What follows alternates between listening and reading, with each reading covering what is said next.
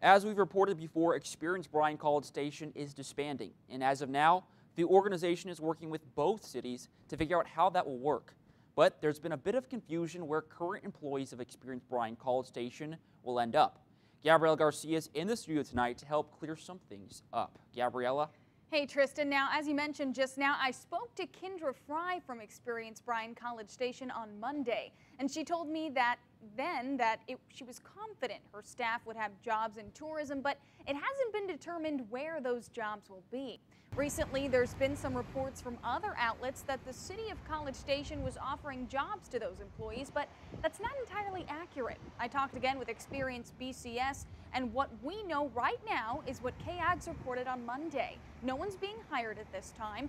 No one has been offered a job. They do not know job descriptions or roles at this time. And experienced Bryan College Station is, quote, pleased that they're being considered by the city.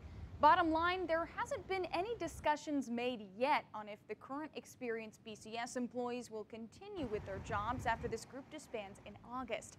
As far as the city of Bryan goes, Experience Bryan College Station is finalizing what they'd like to do, and they're helping with all the planning with that.